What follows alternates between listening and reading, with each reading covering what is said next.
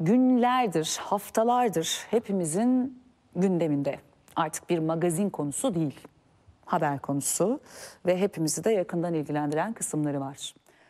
Polat çifti, kara para aklamaktan ve liste uzun birçok e, meseleden ötürü haklarında soruşturma açılmıştı. Ve şirketleri, evleri, e, akrabaların evleri dahi kontrol edildi, basıldı, dijital materyaller toplandı, telefonlarına el konuldu çalışanlarının bile. Hatta kendileri söylediler evlerin bahçesi bile kazıldı. Durum buyken e, ne zaman gözaltına alınacaklar e, şeklinde bir beklenti vardı ve gözaltına alındı Dilan Polat, Engin Polat. Peki nedir son durum? Ayrıntılarıyla birlikte bir bakalım. İstanbul Emniyet Müdürlüğü Mali Suçlarla Mücadele Şube Bir Müdürlüğü açıklamanız ekiplerince olacak mı? ikametlerinde gözaltına alındı Polat çifti. İşlemleri için emniyete götürüldüler.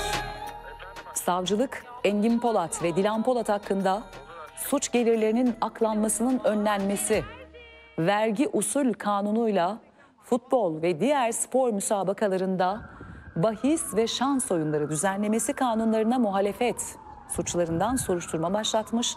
Şirketlerinde yapılan aramalarda dijital materyallerle defterlere ve çalışanların da kendilerinin de dahil olmak üzere cep telefonlarına el konulmuştu. Şüphelilerin emniyetteki Bir işlemleri sürüyor.